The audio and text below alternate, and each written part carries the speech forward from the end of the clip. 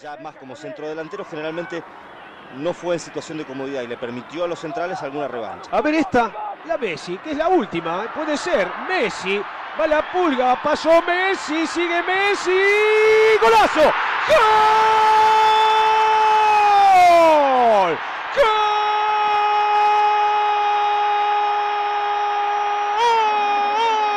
¡Gol Argentina! ¡Qué amistoso y amistoso con Brasil! Apareció la pulga con el último suspiro.